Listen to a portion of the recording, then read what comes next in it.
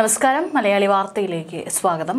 വീണ്ടും ചർച്ചയാകുന്നു. പൂരം കലക്കൽ അന്വേഷണ റിപ്പോർട്ട് നൽകാനാവില്ലെന്ന സുനിൽകുമാറിന്റെ വിവരാവകാശ മറുപടി. വി എസ് സുനിൽകുമാർ വെറും സുനിൽകുമാർ അല്ല മുൻ മന്ത്രിയാണ്.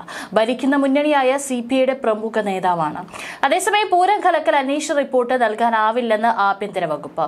വി എസ് സുനിൽകുമാറിന്റെ വിവരാവകാശ അപേക്ഷയ്ക്കാണ് സർക്കാർ മറുപടി നൽകിയത്. ആഭ്യന്തര വകുപ്പുമായി ബന്ധപ്പെട്ട രഹസ്യ സ്വഭാവമുള്ളതിനാൽ റിപ്പോർട്ട് നൽകാനാവില്ലെന്നാണ് മറുപടി നൽകിയത്. അപ്പീൽ നൽകാമെന്ന് മറുപടിയിൽ പറയുന്നു. അപ്പീൽ നൽകുന്ന കാര്യം സംഘടനയുമായി നിയമവിദഗ്ധരുമായി ആലോചിച്ച് തീരുമാനിക്കുമെന്ന് വി എസ് സുനിൽകുമാർ അറിയിച്ചു. പൂരം കലക്കാൻ ഗൂഢാലോചന നടന്നിട്ടുണ്ടെന്ന് മുഖ്യമന്ത്രി തന്നെ വെളിപ്പെടുത്തിയിട്ടുണ്ടെങ്കിലും ആരാണ് പൂരം കലക്കാൻ ഗൂഢാലോചന നടത്തിയതെന്നും എന്ത് തരത്തിലുള്ള ഇടപെടലാണ് നടത്തിയതെന്നുമുള്ള അന്വേഷണ റിപ്പോർട്ടാണ് സർക്കാർ പുറത്തുവിടാതിരിക്കുന്നത്. വിവരാവകാശ നിയമത്തിലെ സെക്ഷൻ ഇരുപത്തിനാല് ബാർ നാല് അനുസരിച്ചുള്ള രഹസ്യ സ്വഭാവമുള്ള രേഖയായി പരിഗണിച്ചാണ് റിപ്പോർട്ട് പുറത്തുവിടാത്തത്.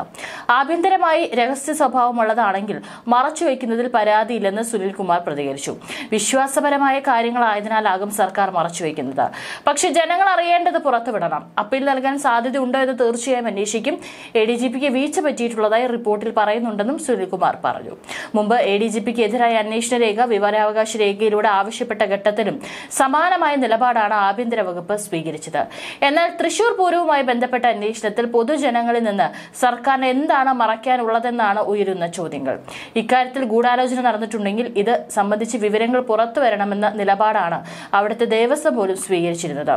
ലോക്സഭാ തെരഞ്ഞെടുപ്പിൽ എൽ ഡി എഫ് സ്ഥാനാർത്ഥിയായി മത്സരിച്ച വി എസ് സുനിൽകുമാറും ഈ അന്വേഷണ റിപ്പോർട്ട് ലഭിക്കുന്നതിനായി വിവരാവകാശ നിയമപ്രകാരം അപേക്ഷ നൽകിയിട്ടുണ്ട്. പൂരം കലക്കലുമായി ബന്ധപ്പെട്ട കേസ് ഹൈക്കോടതിയിൽ ഉൾപ്പെടെ നിലനിൽക്കുന്നുണ്ടെങ്കിലും അവിടെയൊന്നും സർക്കാർ ഈ റിപ്പോർട്ട് സമർപ്പിച്ചിട്ടില്ല. അതുകൊണ്ട് തന്നെ ആർ ടി ഐ മുഖേന മാത്രമേ ഈ റിപ്പോർട്ട് പുറത്തുവരാനുള്ള സാധ്യതയുള്ളൂ. വിവരാവകാശ നിയമത്തിൽ ഇരുപത്തിനാല് ബാർ നാല് സെക്ഷൻ അനുസരിച്ച് രാജ്യ താൽപര്യത്തെ മുൻനിർത്തി രാജ്യ സുരക്ഷയെ ബാധിക്കുന്ന രഹസ്യ സ്വഭാവമുള്ള കാര്യങ്ങൾ ഇന്റലിജൻസ് രേഖകൾ എന്നിവയാണ് ആർ ടി ഐ വഴി പുറത്തുവിടേണ്ടതവ ഇത്തരം വിവരങ്ങൾ കൈകാര്യം ചെയ്യുന്ന സെക്ഷനുകളെ വിവരാവകാശ നിയമത്തിന്റെ പരിധിയിൽ നിന്ന് ഒഴിവാക്കിയിട്ടുണ്ട്. സെൻസിറ്റീവ് റെക്കോർഡുകൾ എന്നിവയാണ് ആഭ്യന്തര വകുപ്പിലെ ആർ ടി ഐ പരിധിയിൽ വരാത്ത രേഖകൾ. തൃശൂർ പൂരം കലക്കലിൽ പ്രതിപക്ഷ ആരോപണങ്ങൾ നിയമസഭയിലും സി പി ഐ ആവർത്തിച്ചിരുന്നു. പൂരം കലക്കിയതിന് പിന്നിൽ വത്സൻ തില്ലങ്കേരിമാരും ആർ എസ് എസിന്റെ ഗൂഢസംഘവുമുണ്ടെന്ന് C P M L A P ബാലചന്ദ്രനും അഭിപ്രായപ്പെട്ടു. തൃശൂർ പൂരം കലക്കൽ വിവാദത്തിൽ പ്രതിപക്ഷം കൊണ്ടുവന്ന അടിയന്തര പ്രമേയ ചർച്ചയിൽ മറുപടി പറയുകയായിരുന്നു അദ്ദേഹം. പുലർച്ചെ മൂന്ന് മുപ്പത് മുതൽ പൂരം കലക്കാനുള്ള ശ്രമമുണ്ടായി.